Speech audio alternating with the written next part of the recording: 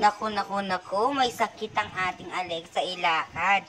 Siguro dahil marami na siyang trabahong ginagawa araw-araw at hindi na makapagpahinga ang kanyang katawang lupa. Kaya naman nung isang araw ay gusto lang matulog ni Alexa. At ngayon nakita natin, pinadalan siya ng kanyang mga fans ng Get Well Soon na balloon. Ako, ano kaya ang nararamdaman ni Alexa? Hindi natin alam kung ano nangyari sa kanya. Nag-aalala tuloy ang mga fans niya, ang KDLX Vibes. Sana ay nasa ah, mabuting kalagayan na siya dahil marami pa siyang ipapakitang talent sa atin at show.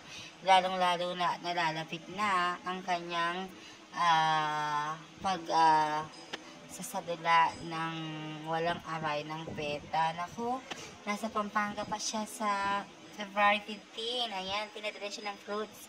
Sabi ni Alexa, thank you so much. At kinain na nga daw niya ang mga fruits na nasa basket. Sabi ng kanyang mga fans, get well soon, feel better soon, our dear Alexa. Ayan, so napakasit ng mga fans niya. Gusto niyang, gusto talagang kamustahin si Alexa. Ano kaya ang na, masamang nararamdaman ni Alexa ngayon? Ako, Valentine's Day pa naman bukas.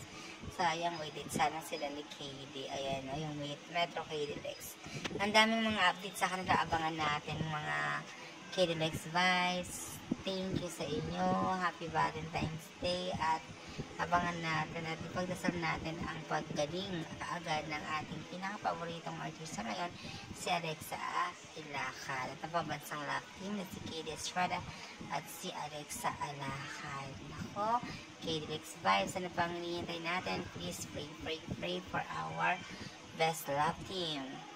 Katie Lex Vibes.